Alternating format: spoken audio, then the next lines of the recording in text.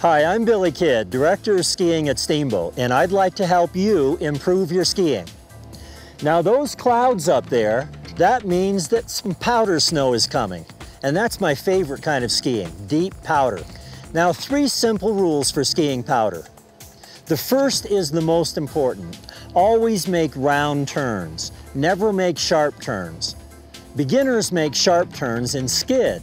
Your skis don't skid sideways in powder, you're upside down all the time. So round turns.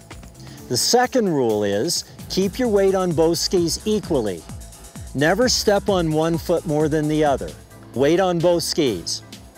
And the third rule is always link your turns. When you come around the turn, centrifugal force pulls you deeper in the snow. And then when you finish your turn and go across the hill, the snow pushes you back up out of it. So that's why good powder skiers always link their turns. So if you want to have some fun, come ski the Champagne Powder and Steamboat with me.